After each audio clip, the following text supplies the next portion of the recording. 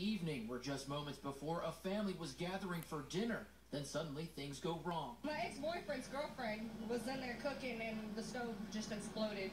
And I heard my, my ex-boyfriend say that something's in there burning. Cynthia Harrington says she immediately grabbed her three children and rushed outside looking to get help from her brother. The neighbors next door come over and said,